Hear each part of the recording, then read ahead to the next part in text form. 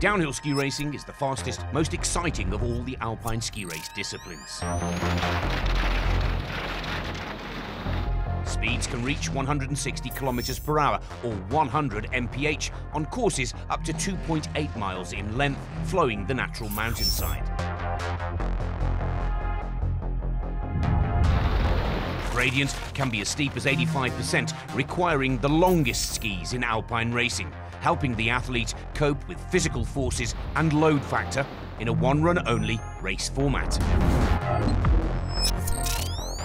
Jump technique is all about timing the takeoff, balance in the air and early ski-to-snow contact to resume control.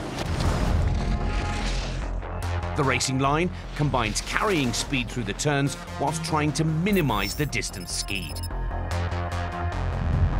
Aerodynamics are also crucial. The tuck position lowers the body, reducing surface area presented to the wind, thus more speed.